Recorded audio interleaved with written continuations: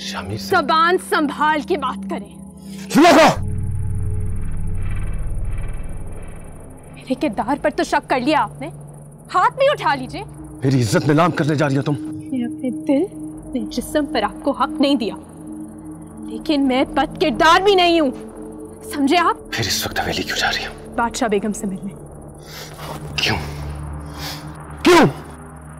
उनको बताने। कि आपसे मेरे बाप ने क्या कहा है? तुम ऐसा कुछ नहीं करोगी। तुम मेरी बीवी हो। और मेरा हुक्म मानना तुम्हारा फ़र्ज़ है।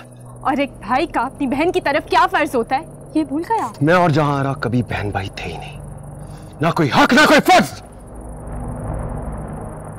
उसका बादशाह बेगम की गद्दी पर आकर बैठना महज एक मजबूरी थी। और कुछ नहीं।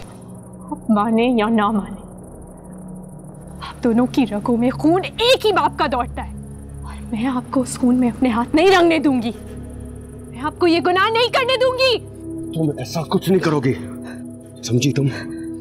बहुत सह लिया मैंने तुम्हें। बहुत प्यार से समझा लिया तुम हो कि हर दफ़ा अपनी हाथ पार करती ही चली जाती हो। प्यार से नहीं मानोगी ना? कोई बात नहीं। छोड़िए मुझे। तुम्हें छोड़िए क्या करूँगा? मुझे जाने दे। ना किसी से बात करोगी ना किसी से मिलोगी।